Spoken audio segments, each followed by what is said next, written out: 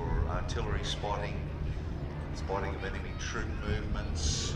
Uh, this is the AOP-6, which about 400 plus were uh, built, introduced in 1945, and there are about eight variants of this particular design.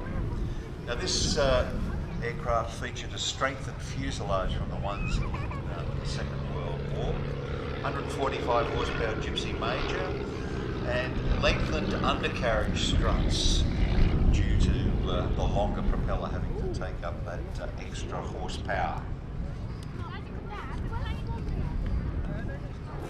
This particular uh, machine is flown, as been said, by uh, Kevin Hale.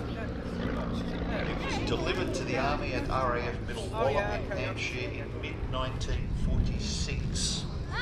Remained there until 1952 on general strength. Now AOP is certainly something that is vital and if you go back and you look at your history, uh, later assigned to uh, RAF base in Berg, Germany and took part with the uh, annual manoeuvres with the British Army Rhine. A lot of these aircraft used uh, in the Malayan campaign, uh, where they No, were I asked him, he said no. spotting the movements of the so- Kuomintang, the uh, Oh, wow. terrorists that were there. Malaya being one those uh, sort of forgotten I suppose you could call them. Although the people who fought there uh, certainly wouldn't say it was something that uh, we should forget. Very, very manoeuvrable aircraft. Now, of course, many of you have seen something like this, and perhaps even flown it, because Auster was a prolific designer and manufacturer. Facebook, you'll see that he loves flying it.